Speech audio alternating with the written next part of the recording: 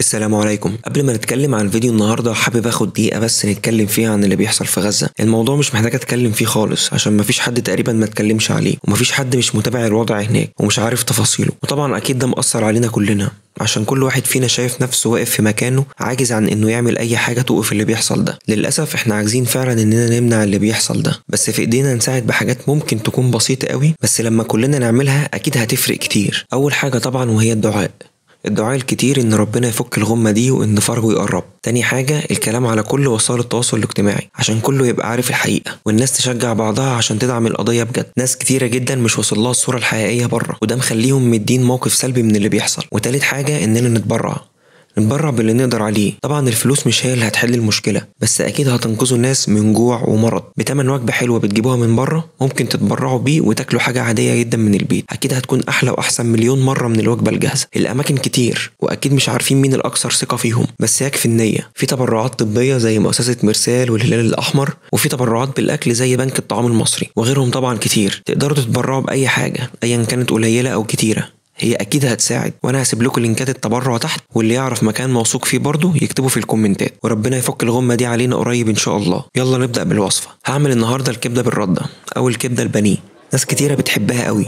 ليها مزاج مختلف في الأكل. بس بتقلق إنها تجيبها من بره عشان مش ضامنين الكبدة ولا نظافتها أو طريقة التسوية أو الزيت اللي هما بيستخدموه فيه. وطبعا بقى زيادة على كده دلوقتي المغالاه في الأسعار في كل حاجة. فهعملها معاكم النهارده نسخة من الجاهزة بالظبط. مفيش أي فرق نهائي.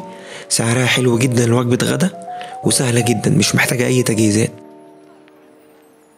هجيب أول حاجة الكبدة. طبعا تكلفة الوجبة كلها بيعتمد على سعر الكبدة. في البلدي وفي المستورد اللي تقريبا كل المحلات بتشتغل بيه. وعلى عكس المعروف لا هو في أنواع مستوردة بتبقى كويسة فعلا وما بيبقاش فيها أي زفارة زي اللي أنا مستخدمها هنا دي. والكيلو كان ب 80 جنيه بس ففرق ثلاث أضعاف من السعر بتاع الكبدة البلدي. طبعا أنتوا لو حابين ممكن تجيبوها من السوبر ماركتات الكبيرة ولو مش حابين تستخدموا المستورد ممكن تستخدموا البلدي عادي طبعا. المهم سهلوا على نفسكم وأنتوا بتجيبوها وهاتوها متقطعة شرايح رفيعة بالسم كده الجزار أو المحل هيقطعوها أحسن وأسهل بكتير من إنكم تقطعوها في البيت. هحط عليها مية بصلة كبيرة مفرومة معاها فصين توم مفرومين ومعلقة صغيرة ملح نص معلقة صغيرة فلفل أسود معلقة صغيرة كمون معلقة صغيرة كزبرة معلقة كبيرة عصير ليمون ومعلقة كبيرة خل. وقلب المكونات دي كلها مع الكبدة كويس عشان تتشرب التتبيلة. والمقادير اللي أنا قلتها دي على فكرة بتكفي نص كيلو كبدة. بعد ما أقلبها كويس هسيبها في التلاجة نص ساعة ساعة بالكتير قوي عشان لو في زفارة بس في الكبدة تروح والكبدة تشرب التتبيلة كويس. هعمل بقى صلصة الكبدة اللي بتبقى مشهورة قوي في محلات الكبدة والمخ ولازم تتقدم مع أي وجبة. هحط في حلة معلقة زيت أو زبدة وأنزل عليها بالبصلة المفرومة اللي إحنا خدنا ميتها للكبدة ومعاها فصين توم مفرومين وهشوحهم نص دقيقة على النار. هحط بعد كده نص كوباية لسان عصفور متحمر أقلبه نص دقيقة برضو. وأنزل عليه بعد كده بعصير طماطميتين متوسطين مضروبين في الخلاط بشوية مية. عشان يعملوا لي في الآخر حوالي كوباية ونص. لو عصير الطماطم كان عامل كمية أقل من كوباية ونص زودوا نص كوباية مية. وهبهرهم بنفس البهارات ملح وفلفل وكمون وكزبرة. وهزود عليهم بس معلقة صغيرة سبع بهارات. وآخر حاجة معلقة صلصة كبيرة. وأقلبها كويس جدا وأغطيها وأسيبها على نار هادية لحد ما لسان العصفور يستوي. الموضوع مش هياخد تلت ساعة. طبعا هما في المحلات بيلموا بواقي الكبدة الصغيرة اللي متبقية في الزيت ويضيفوها عشان تدي طعم زيادة. هي بصراحة مش هتفرق قوي. فلو أنتوا حابين ممكن تقطعوا قطع صغيرة كبدة وتضيفوها هنا تستوي مع الصلصة. بعد تلت ساعة تقريبا الصلصة اتسبكت وبقت بالشكل الجميل ده. وخلاص كده صلصة الكبدة بقت جاهزة. نقلي بقى الكبدة. هجيب كوباية ردة عليها كوباية دقيق وهرش عليها رشة بسيطة من الملح والكمون والكزبرة. كده كده الكبدة عندي متبهرة أصلا.